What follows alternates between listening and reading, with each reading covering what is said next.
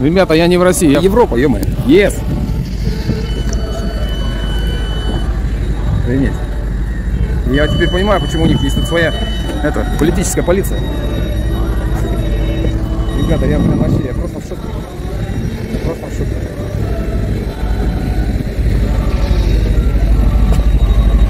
И это будет культурная столица в 2024 году. Вот это вот о достоинствах Таллина еще немножечко. Помните, я говорил об отсутствии специальной мыльницы? Вот она появилась. Это вот достоинство. Сколько времени прошло, я не знаю. Я ну, не контролировал этот момент. Но вот сегодня я зашел сюда, и я обнаружил, что мыло у рукомойника в специальном туалете для инвалидов появилось. Такого же содержателя мыла не было на третьем этаже, сейчас поеду туда специально. Ну вот, посмотрите, и в лифте тоже. Помните, я заходил, было нарисовано, все, вот тут, вот, видите, немножко оторвано. Но все-таки ни, никаких рисунков нету. Это тоже очень приятно, это радует.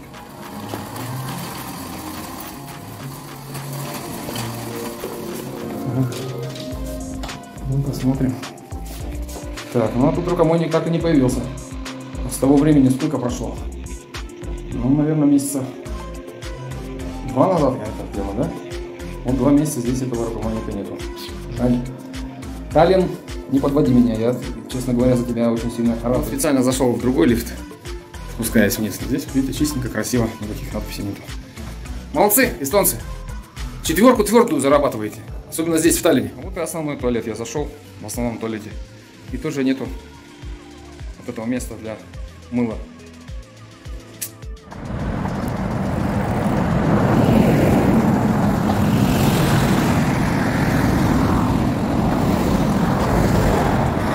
Приветствую всех свободных людей нашей большой прекрасной свободной планеты Земля. Ну, вот эту стройку я наблюдаю уже пару месяцев. Смотрю, много народу здесь работает. Думаю, сейчас если работу искать буду, я, наверное, на эту стройку пойду. На рабочих. Поучаствую в строительстве Таллина. Ну, а сейчас иду в этот магазин. Про него расскажу. Вся одежда, которая на мне находится, практически, кроме обуви. Вот эта сумка, рюкзак.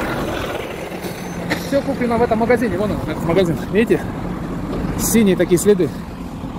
Я вам вчера рассказывал о том, что точно такой же магазин, я магазин известный. У них тут в Сталине, например, в таком магазине скидка 50%. Последние там несколько дней, 3 дня, там, 4 дня там, месяца, скидка 50%. Я зашел в этот магазин, а, цены вообще на порядок лучше, чем в Таллине. И скидок нету. Спросил, есть скидок нет. Смешно? Смешно. Вот тебе, пожалуйста, переезжай, короче, жить в Тарков, Рома. И там, к сожалению, к огромному не скидок, ничего. А сейчас я приду, я вижу там сканы. И увижу там скидки. Я проблем нет, потому что последние дни каждого месяца всегда скидки. И вот я сейчас туда пойду.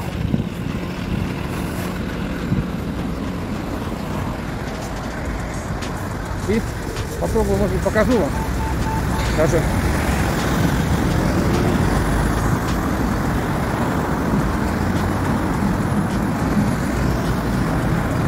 покажу вам скидки.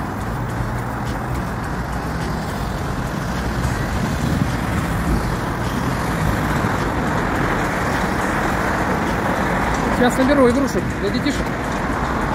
Я точно такой же магазин видел в Виленде. Я там вот эту кепку, которую на мне сейчас взял. Вот если бы все такие магазины были, можно было говорить о том, что можно прожить. Но такой магазин один.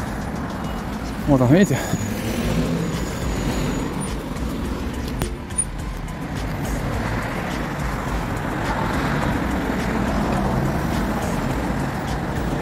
Люди приходят и вот сюда кладут вещи. Или вот сюда. Вон та женщина сейчас, например, на Ниссане, которая садится, она принесла вещи. И вот, вот сюда кладут, а потом эти вещи, ну, там, стирают на оценку, там, и, и в общем, люди собирают. Вот, принесла, а потом их собирают отсюда, разбирают, стирают, там, гладят и на продажу. Здесь раньше были все полные эти А сейчас их нету ничего, никакого товара. Как будто его разобрали. На самом деле они убирают на время скидок. Полок они далеко не стали убирать, прямо здесь в мешках положили и все. Ну, люди не полезут. Вот такая вот история. Я тут себе несколько вещей наметил взять, а их сейчас нету. Почему? Потому что, видите, скидка 50%. Вот. Завтра приду, она здесь будет, эта вещь опять. Так, ребята, Уже я это, без скидки. Сегодня провожаю лето. Ну вот для ребяток специально поставил игрушки. Если кто-то из детей захочет, подарю.